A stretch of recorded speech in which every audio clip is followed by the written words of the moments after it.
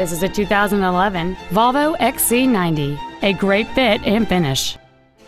It has a 3.2-liter six-cylinder engine and an automatic transmission.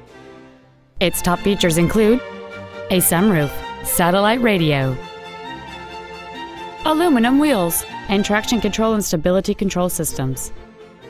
The following features are also included a low tire pressure indicator, memory settings for the seat's positions so you can recall your favorite alignment with the push of one button, cruise control, leather seats, an illuminated driver's side vanity mirror, rear curtain airbags, rear seat child-proof door locks, dual power seats, air conditioning with automatic climate control, and this vehicle has fewer than 23,000 miles on the odometer.